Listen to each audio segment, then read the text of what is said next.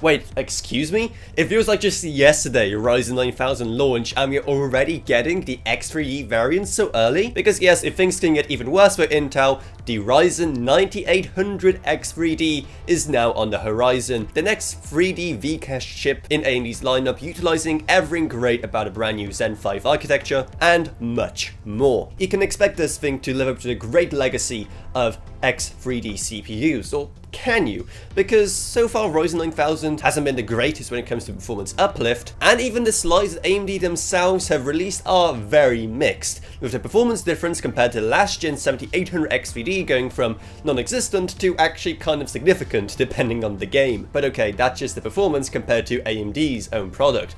What about the arch nemesis? Well here the story is pretty much the same, and again depending on the game, they could be pretty much on par, or we could be seeing a huge win for Team Red. But those are just numbers from AMD. Of course, we have to wait and find out for ourselves exactly how well these things be performing when they launch on the 7th of November. So make sure to pester your local AMD rep until then, so we actually get them by launch. But how much are you going to have to pay for this thing? Well, it's most likely going to be $479, or $30 more than the launch price of the 7800 X3D. And seeing how that thing's a bit older now, you can expect it to go on sale pretty frequently. Plus at that price, you could also be getting a couple more cores by going for the 9900X. Though odds are, if you're the target customer for this, you don't care about having more cores. This is just about pure gaming performance, and for that, it's probably going to be okay.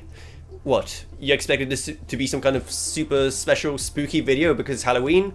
Well, no, I don't care, go away. And isn't the fact you're about to spend $500 on a CPU scary enough? But while you are still here, maybe check out our Patreon, because even a single dollar a month truly goes a long way, plus huge thanks to Gavin Burns, Justen Rage, Ela Wroniak, Bartosz Welke, Patrick Harrison, not a pseudonym, Meg Sumner, Shane Allcroft, and Level Up. But anyway, that's all it's, I hope you enjoyed this video. If you did, then remember to subscribe, like, whatever, and I see you all in whatever I make next. Goodbye, everyone.